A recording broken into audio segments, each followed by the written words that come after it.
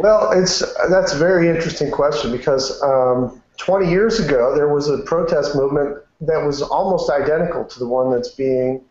um, staged this year, and Jesse Jackson was a leader of it and attempted to galvanize support for a, a kind of an Oscars boycott,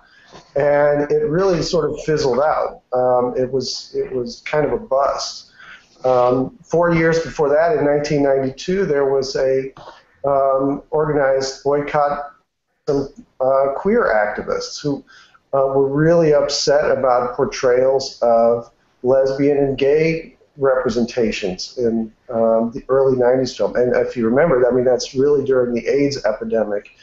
Um, and uh, that was perceived as a, as a crisis in some quarters there as well. But this is a, uh, you know, this is a, a fact of the history of Hollywood that dates all the way back to films like The Birth of a Nation in 1915, which generated an enormous amount of protest um, and was one of the things that enabled the NAACP to actually develop into the mature organization that it was becoming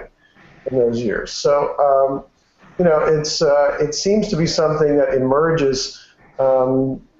occasionally, by which I mean um, that there will be events that, that generate a sense of crisis in some quarters, uh, rather than something that is ongoing every year.